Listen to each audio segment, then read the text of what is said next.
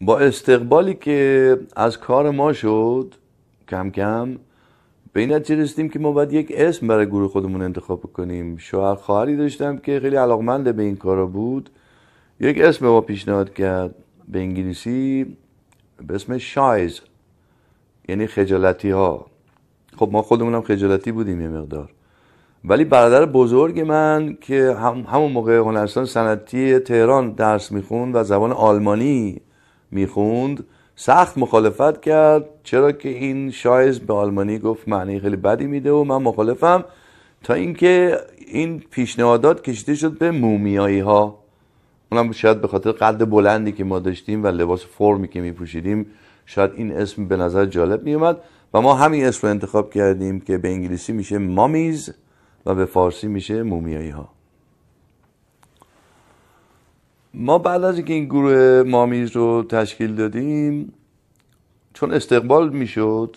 نه از ما به تنهایی از هر گروهی که اون زمان بود و می‌تونست که موسیقی اجرا بکنه که نسبتا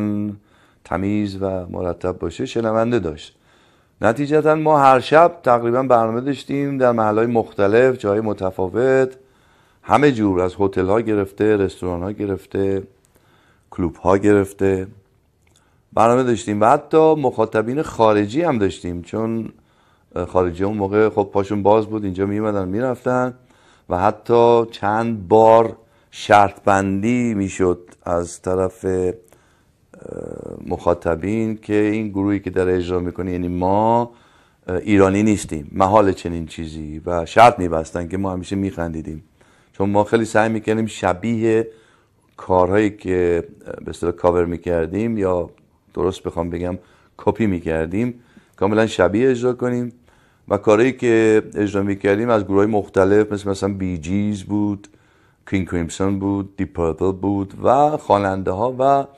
آدمایی که موسیقیشون اون موقع hit می‌شد top می‌شد و مطرح بود تو جامعه و دوست داشتن دیگران مخاطبین ما دوست داشتن. ما اونها رو یاد می‌گرفتیم تمرین می‌کردیم و اجرا می‌کردیم. تا تقریبا ده سال یعنی از 1344 تا 1354 این گروه فعال بود تا اینکه برادر بزرگ من شاهرخ عزیمت کرد به آلمان. این طبق برنامه‌ای که داشت از قبل هم زبان آلمانی هم خونده بود و درس و تحصیلاتش رو می‌خواست ادامه بده رفت به آلمان و ما بدون بیسیس شدیم که البته گروه اینجا ادامه داد بدون برادر بزرگتر من. از دیگر دوستان کمک گرفتیم به عنوان نوازنده بیس و ادامه دادیم تا بالاخره اون یکی برادر من که درامز می‌زد فرخ اون هم عزیمت می‌خواست بکنه به انگلستان و با رفتن اون گروه مامیز دیگه از هم پاشید که بعد از اون من دیگه فعالیت های دیگری کردم.